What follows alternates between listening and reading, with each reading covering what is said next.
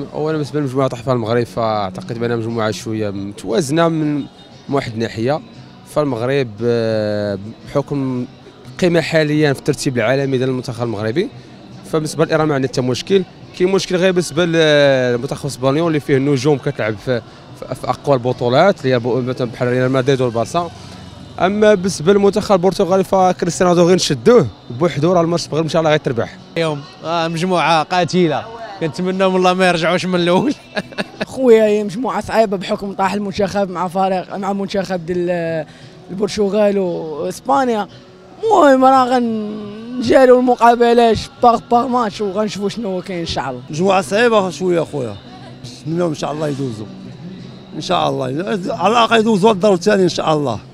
حظ موفق إن شاء الله. الخوف والتمن يعني أصعب ما كاين هو هذه المجموعة يعني الفريق البرتغالي والفريق الإسباني حاليا من بين أبرز البطولات اللي كيزاولوا في في العالم.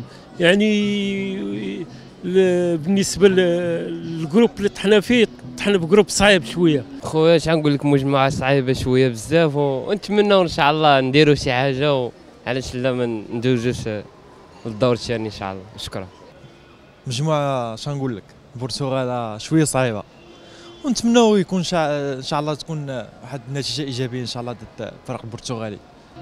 بالنسبة للمجموعة اللي طاح فيها المغرب مجموعة صعيبة. يعني إحنا داخلين ما عندنا ما نخسروا يعني المنتخب المغربي بهذه المجموعة ما يعني دايرين فيه الثقة الكاملة. انه غيكون في مستوى وغي بالنسبة للعابة كلهم كيزاولوا في البطولة الأوروبية.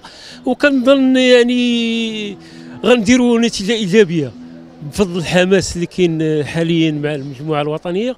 أنا داكشي ديال الله سبحانه وتعالى ولكن الله كتب وبغى شي حاجة بغى المغرب إن شاء الله يتأهلوا غيتاهلوا بإذن الله وشي حاجة مساله والانسان ما يتخلع ما يخاف ما والو فهمتي؟ لأن هذه كره فهمتي؟ الإنسان ديما يحسن الظن بالله سبحانه وتعالى أن الله غيعاونه إن شاء الله ويدعي الله سبحانه وتعالى والله على كل شيء قدير